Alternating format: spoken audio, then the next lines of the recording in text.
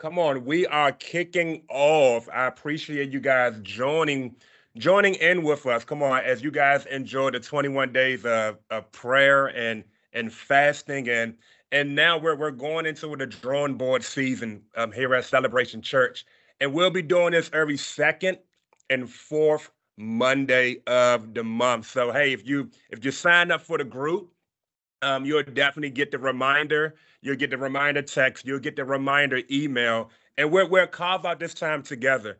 I, I I don't know about you, family, but I I was so blessed by our time spent well together during the 21 days of prayer and and fasting, and we'll use this time. We'll use this sacred space to come together and and here, here here's my passion of of what what is the drawing board to to me, family, the the drawing board is when we come together. We, we, we put everything on the board. May, maybe you're a meeting person, you like writing on the board. Or, or, or maybe the drawing board could be for, come on, all, all of my athletes out there, we know X's and O's, um, the execution of the play. And what the drawing board is going to do is, is when we go a little bit deeper, we, we unpack just a little bit deeper to hear what God is saying. There, there's going to be times when we come together and we're, we're gonna we're gonna go the extra mile in uh, from the Sunday message. Let's let's actually talk about it. Let's let's have a healthy discussion around what God has spoke to us on Sunday. And to be honest, sometimes hey, we, we're going to pivot. Hey, maybe there's some things, some some hot topics that we can definitely come together. I know me and myself, Pastor Brenda, we have some amazing ideas that we want to share and, and have some healthy conversations around. And it's going to be very impactful. So I I definitely um encourage you, hey, spread the word. If you can do that, spread the word. If you know how much it blessed you, hey, begin to share the link and, and let people know. But we'll definitely have it on demand as well. Because you know, hey, maybe you can't make it every 7 a.m., but we're having on our YouTube channels and we have some ideas for podcasts for for the folks who love driving or, or while you're working out we're, we're going to look to get it to you in different ways. But as we begin to jump in, family, I, we're in this amazing series. I, if you can, you just put that in the chat. If you are enjoying our February series called Money Woes, I, it's been blessing my soul of of just diving into God's word and what God is saying around generosity and stewardship when it comes to our finances. And we, we, we kick-started last week, if you remember, family, we, we kick-started of talking about the heartbeat of generosity. Come on. That the heartbeat of generosity. We begin to deal with the heart. Man, if, if our heart is not beating towards generosity, we're, we're, we're, we're, just not in alignment of what God desires, in alignment with his principle, his, his keys, his, his heart. Our Father is a giver. Come on, somebody put that in the chat. Uh, our Father is a giver. So we are a giver. If, if my Father gives, I give. If my Father gives patience, come on, anybody going to need some patience on, on, on Monday morning today? And we, we're going to give out patience, not because of the outcome, but here it is because my Father is a giver. My father gives out forgiveness. My, my father gives out, he, he's generous. And whatever my father does, he's looking for his kids to, to, to model as well. So this is why we're kicking off this series and we begin to unpack. But I I really want to get into um yesterday, excuse me, yesterday's message. I believe yesterday's message was just so insightful of, of, what God is speaking about. And I want to have some healthy conversations around this, around managing our, our, our finances. Come on, somebody. Managing our finances. And and i love what god has been saying. He's been speaking it to me and and and, and god is saying hey maybe you don't have a, a a vision problem anthony around your money. Maybe you actually have a a, a preparation problem. Come on a preparation, a, management problem. Come on, I, I, believe a lot of us, we don't need more money. Come on, somebody. I, I know you've been praying, God, send the wealth, bring me more. And sometimes we actually don't need more. We just need to manage better. Yeah, yeah. We need to manage better. Teach us, Holy Spirit, how to how to manage what you have already given us better. So for this series, family, we've been we've been diving into Proverbs 11, verse 23. And that's been our, our main scripture. Um, as you guys know, when I go into these sermon series, God He gives me a main scripture, and we kind of we kind of move from there and see what the Holy Spirit loves to say. And, and in this scripture in Proverbs 11, 23, it it says the world of the generous. Come on, we talked about this yesterday. The the world of the generous gets what? It it gets larger. Yeah. But but the, but the Bible teaches us that the stingy, ah, yeah, yeah, the the stingy, the stingy world gets smaller and smaller. If if if if you think that no one on this call, or maybe you're listening to this later, we all can suffer from stinginess. Yeah. Not not just your not just in your childhood, but in your adulthood. Yeah, yeah, come on. We all can wrestle with being selfish at times. It's called our flesh. Yeah. Your flesh rises up in you. Your it's a warfare going on inside of you. You're, you're trying to do good, but evil is always trying to get the better hand of you. And this is just not in, in other areas of our life. This also plays out in our finances, around generosity, around biblical principles that that, hey, if I just save this for me, this is going to make me better. But God has been speaking a mighty word to me. And as we're speaking on Sunday, he said, Anthony, I, I didn't call you to be a reservoir. I have called you to be a, a, a, river, a stream. And, and this is why we, we talked about this. This is why money is a current. It is currency. It, it is designed to flow. So as you're taking notes and, and, and you're processing through, through, through this month, when it comes to managing your money, it is just not about what you can keep for yourself biblical principles, hear this family, biblical principles is laid out so it can be a design to flow. Mm. This is principle. So this, this is why when I use the word principle, it, it, we can see it through scripture. We can see the Abrahamic blessing that God has laid out in Genesis even play out in how you manage your money. Come on, somebody. He told Abraham, I'm going to bless you so that you will be a blessing to others. I'm going to bless your family and not just your family. I'm going to bless your families in such a powerful way that everybody else around you is going to be blessed. That this is going to be a generational blessing. See, this is a principle laid out in, in, in Genesis, and we see it flows all through the Bible. It's a principle that God wants to bless you. He wanted he wants it to flow through you. So we gave we we gave three principles. I'm going to teach the other. I actually have seven. I have seven keys when it when it when it comes to to managing managing your finances. And I'm going to recap the first three that we talked about yesterday on on, on Sunday, and we're going to have a conversation about it.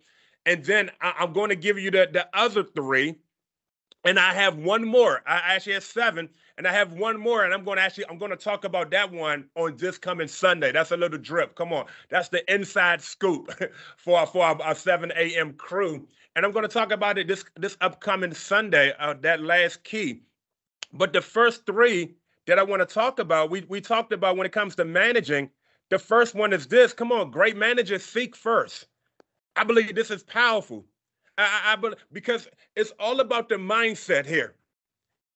We talked about the heart last Sunday, dealing with the heart motive, but but this week we, we dealt a lot with the mind. When we change our mindset, this is this is trajectory for your life.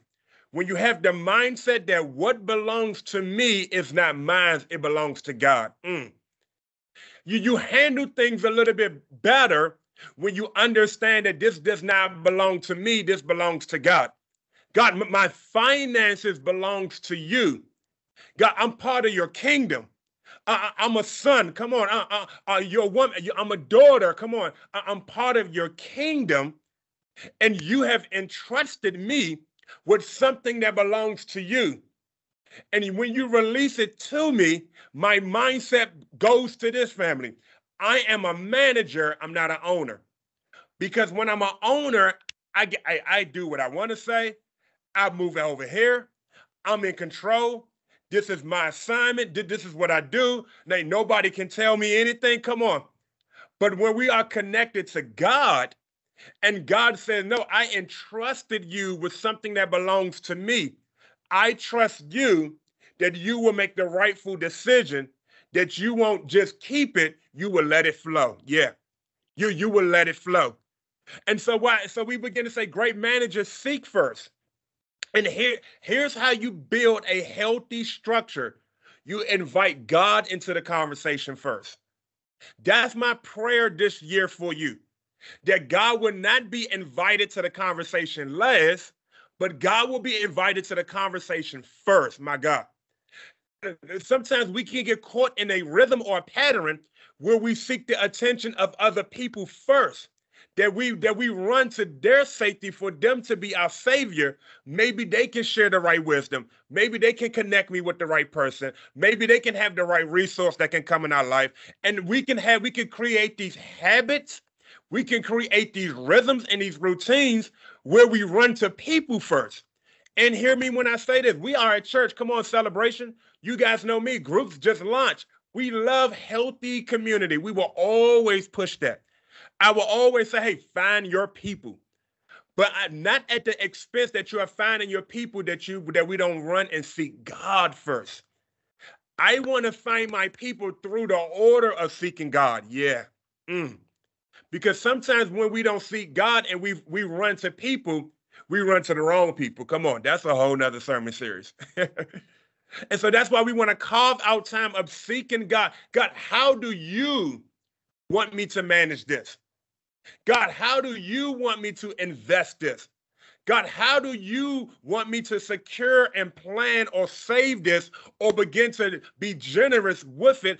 God, what do you want me to do? Spending time with God can, can, can help us avoid so many pitfalls that we have fallen into in our life. Come on, just raise your hand, raise both hands, both feet. we all have tripped and fumbled and stumbled in certain areas of our finances. And after we recover, we say, man, if I would have just spent more time with God, this is probably something I would have avoided. And so this is why it's very important to, to seek God because we said this yesterday. We said it's all about the flow. I want you to catch that. I, I believe there's a flow that God has you in, and no flow, no anointing. No flow, there's no blessing no flow, that, that there's no multiplication that can happen. Remember this, family God can only bless what you release. When it's in my hand, God cannot bless it. But when I release it back to his hand, God can touch it. He can multiply it. Because remember that, we're going to unpack that a little bit more um, this coming up Sunday, that God is a multiplier. But he can only multiply what's in his hands. That's why we said on Sunday, this is the best posture you can give God. Not this posture, fists closed, but this posture, palms open. Mm. In my time, palms open. With my finances, palms open. With my heart, palms open. With my mind, palms open. With whatever you want to do, God, I, I want to live a life in this posture, not this posture. And this is what I believe, family. This is what I believe. I believe God is breaking the, the spirit of selfishness off of our lives. This is why we talked about stingy because we all can be selfish in certain ways. Maybe, may, maybe certain things happen in our life that created a selfish pattern. Maybe we've been treated a certain type of way that created a selfish pattern. Can I say this way? Maybe we've been exposed to certain things that had that created this pattern. And here's what I mean by that. May, maybe you have been raised mm, in, in a household through exposure. This is all you know. So even when it comes to your finances, I only been exposed to this. And whatever you have been exposed to, we will always replicate. I need you to hear that. So a lot of times our mismanagement has, has it's not really sometimes not our fault. It's what we've been exposed to. But here's what we need to do: we need to shift the exposure. We, we, we need to shift the exposure to the new light. We need to shift the exposure from the old mindset, the old history, the old pattern, and we need to turn to his light and catch his revelation and catch his insight so that we can be exposed to better. Your life is not over just because you were raised incorrectly. Yeah. Your life is not over because maybe you didn't come from money. your, your life is not over because you don't have the necessary resources. Your responsibility now is to turn to the right exposure and allow his light to, to open up your mind and open up your eyes. And this is why we're calling the series Money Woes, because we want God to say what we want us to say, Woe to God. In other words, we want to be enlightened in, in a, such a powerful way that there were certain things that we used to look at that we no longer see anymore. We see God, we see his way, we see his pattern. We see his behavior. And that's what God is saying. The other one was this we talked about sowing first. And this is powerful. This is powerful because great managers sow first. We, before you go, you got to sow, right? I, I, need you to catch that. Wherever you are going, God will cause you to sow first, whether that's in your time, whether that's in prayer, whether that's financially, whether that's with your talent, your, your skill, wherever you are going, sow first. If you're if you're planning for a, a, a new career, how can I sow in this direction? If you're planning to be married, how can I sow into a, a, a, a married couple already so that I can glean from them? Mm. Hey, maybe you're getting ready to start a business. You want to that you got to sow something of where you're going. So this is a principle, and this is what we're laying out. We're just not talking about finances. That's our main subject, but the principle is abroad. It is not Pacific. It is just not. It is just not locked in a category. It is actually can be used in our life because the sowing and the reaping principle is used all over, not just in your finances. If you want more peace, what? Sow peace, right? You want more patience? Sow patience. The scriptures tells us if you want to be refreshed, go and refresh others. Whatever you're looking for, you have to sow in that area to go. And the third point is this before we jump in the, in the next three is great managers secure first. And, and this is powerful because we talked about Proverbs 13 22. It says, A good man leaves an, an inheritance to his children's children. And this is what I believe. I, I believe this is a powerful moment in our service. I, I, felt it all week. I felt it right before I hit the stage. I felt it right when I was on the stage. I believe God is saying, I, I'm breaking the mindset of the old so that the power of the transfer can happen in your life. I, I'm breaking the generational curse in your life so that what was what has been stored up will, will, will, will touch the next generation. Let, let us not be a generation that we only withhold for our generation and it doesn't carry over to the next generation. Allow God what touches me to touch the next. Come on, somebody. That's a life where we say, let it flow. Let it flow. Let, let it not just stop with me, God. Let it touch the kids that I would never meet. That they would just read about Anthony, that their great great granddaddy, that he did amazing things, that he he loved God, he loved his family, he he loved serving, but he left breadcrumbs, my God. He, he, he left he left something, he left a legacy. And when I say legacy, I'm not just talking about money, I'm also talking about wisdom and knowledge. Let, let us leave something for the next that's so powerful. So the power of the transfer. So great managers do this. We we we secure and we secure, we save in the now so that we can secure in the future. I, I, I don't want to just win the day in the now. I want to win the future as well. I believe God gives us such wisdom and revelation that we can store up so much blessing for others to secure the future. I believe I, I, I believe in that God is going to show you wisdom on, on how to invest better, how to plan better, how to get out of that debt better. Because when we when we get underneath his alignment, God is going to show us in a powerful way of what he wants to do.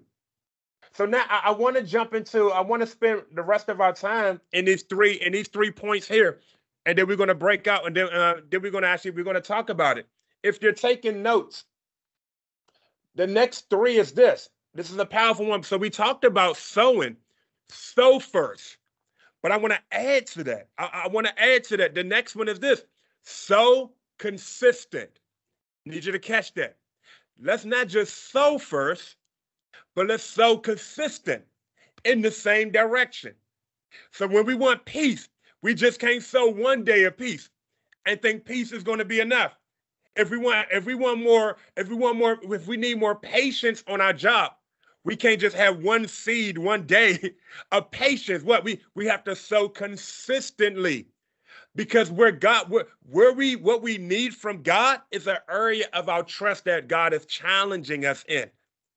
So here's a farmer. Let me give you an example. Let me give you an example. A farmer does not sow just one seed. A farmer sows multiple seeds consistently with the hope, the expectation that, you know what, at least one of these seeds is going to catch ground.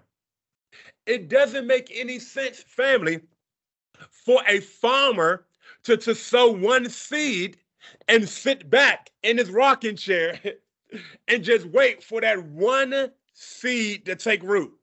He's putting everything in this one seed. No, the farmer would take the apple seed and he would sow what? Multiple apple seeds with the expectation. And so, so what, what am I saying? When we trust God, we don't stop at the one. Yeah. When we're trusting God, we don't stop at the one, we stay consistent in this pattern. So even when you don't see the fruit, you're still sowing. Yeah, mm, come on. Even when you don't see the fruit from it, you know that it, the work is being taken place in the under. Yeah. That the work is being taken place in the under, and you know that the seeds are in the ground. You probably you just can't see what's happening, but you know that God is moving. I, I love this scripture in Second Corinthians. Second Corinthians chapter 9, verse 10, it says this: For God is the one who provides seed for the for the farmer and then bread to eat. In the same way, he will provide and increase your resources and then produce a great harvest of generosity in you.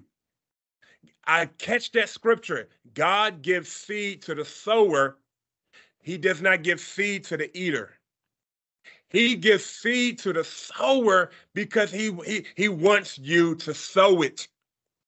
Ask yourself this question In my area of my life right now, even in my fan, finances, what does it look like when I sow consistently? Mm. God, how, how, God, how you're teaching me in this season to live a life of managing my finances better where you're showing me the biblical principles on how to live out a life where we are sowing consistently. This is a principle. I'm, I'm gonna keep bringing it back because this is just not tied to your money. This is a broad principle. It is the heart of God. My next one is this. My next one is this. Spend practically. See, see, we were laying down these principles about managing our money managing our finances better. We just said sow consistent, but now spend practically. In other words, spend feasibly. In other words, we have to live a life where, where, where we're just not spending reckless. yeah, yeah. Come on, we're just not taking our money and doing whatever we want to do with it. See, the scriptures tells us this. It says this in Luke chapter 14, verse 28. It says, But but don't begin until you count the cost. For who will begin construction on a building without first calculating the cost to see if there is enough to finish it? Otherwise, you might complete only the foundation, before running out of money. And then everyone will laugh at you. They would say, There's the person who started that building and couldn't afford to finish it. Mm, that's in the Bible. we have to count the cost. So the question is the self-evaluation, God, in the area generosity, in my finances of, of stewarding your, your your your money, God, how am I counting the cost? How am I counting the cost?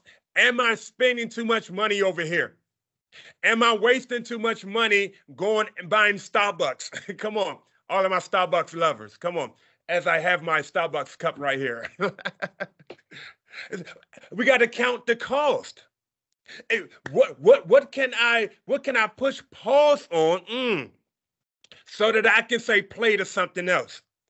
There are things in our life that we actually have more if we actually manage better. I'm bringing that back up. You don't need more, you need more management.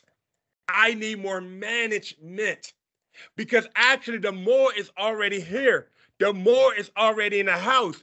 We just been fumbling the more.